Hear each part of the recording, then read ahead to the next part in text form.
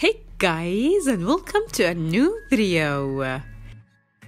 In this video, we will design and make our own customized calendars. I like easy and affordable DIY, so I made sure this one is so easy to do and cheap. I mean, the entire DIY cost me um, less than $2. So, hell yeah, let's get started. We have to design the layout of our calendar. I'm using Uncle Word because he's one of the easiest programs to work with. First, the layout. You're free to choose your orientation, whether portrait or landscape. Let's keep it portrait for this one. Second, the templates. You can make your own template here on Word, but I found inserting a picture is way easier. I've searched a lot, and the best site where you can get the highest quality templates is Fresh Calendars. There you can find various designs. We'll do some editing on the picture. Set your wrap text to square, do some cropping. Sorry, fresh calendars. Set the size right. Third, the cool part, the pictures. Choose pictures that you'd like to see for 365 days. Shout out to BTS and to all my fellow armies out there. I love all of you. If you're gifting this calendar, make sure to pick pictures that they would vibe with. For example, if they're foodie, choose yummy nummy photos. If they're into anime, then go with pictures of their favorite one.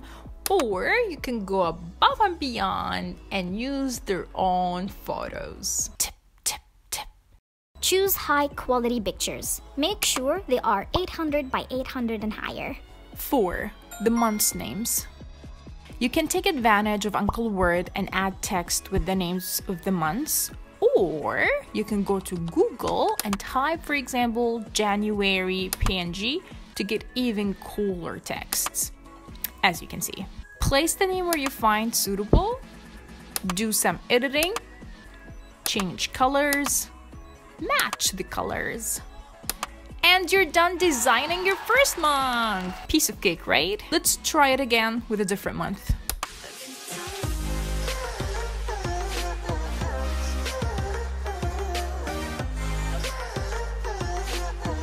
Here is a preview for all of the months I've created.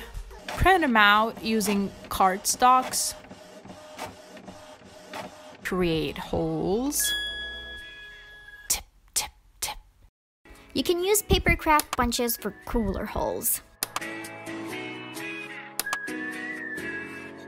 I also made a cover photo for my awesome calendar. And ta-da! Tie the papers together with a string or a ribbon.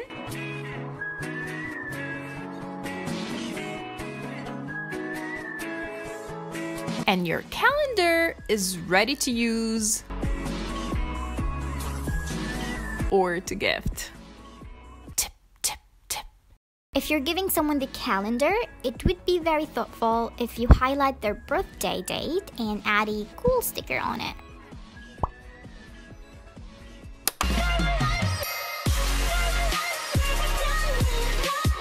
You guys for watching. I hope you enjoyed this DIY or at least got inspired in a way or another.